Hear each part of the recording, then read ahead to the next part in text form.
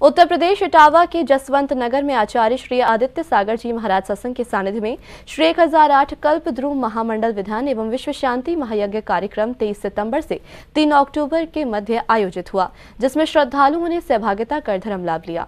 आचार्य श्री आदित्य सागर जी महाराज सत्संग के सानिध्य में जसवंत नगर के श्री दिगंबर जैन मंदिर में आयोजित हुए श्री 1008 कल्पद्रुम महामंडल विधान कार्यक्रम का आयोजन 23 सितंबर से 3 अक्टूबर के मध्य किया गया। इसी क्रम में 2 अक्टूबर को कार्यक्रम की शुरुआत श्री जी के अभिषेक एवं शांति धारा के साथ हुई, जिसके बाद भक्तों ने विधान की मांगलिक क्रियाओं को सम्पन्न किया एवं विश्व शांति महायज्ञ के साथ विधान का समापन किया।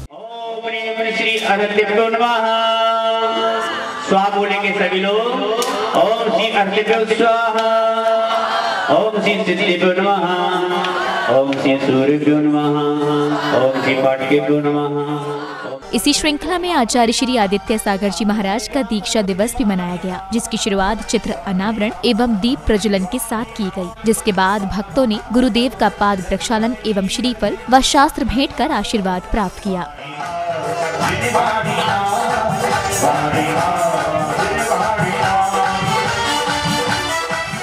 कार्यक्रम के मध्य पद्म पुराण पुस्तक का विमोचन भी हुआ। इसी के साथ आयोजक समिति की ओर से बाहर से पधारे अतिथियों एवं गणमान्य लोगों का तिलक लगाकर एवं अंग वस्त्र व माला पहनाकर सम्मान भी किया गया।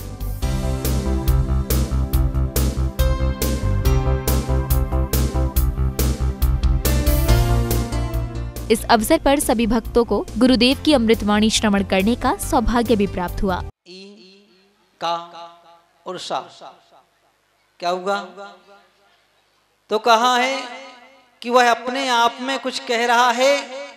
उसने कहा है कि इंद्रियों का दमन और कसायों के समन का नाम है दीक्षा।